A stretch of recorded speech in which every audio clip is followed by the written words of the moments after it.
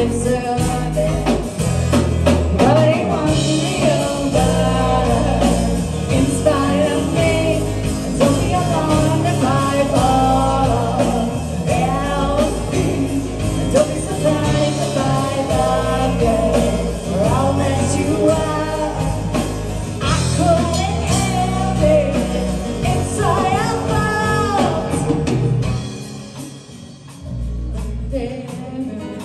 about this and things you can't breath and the dopamine that's now it's a learning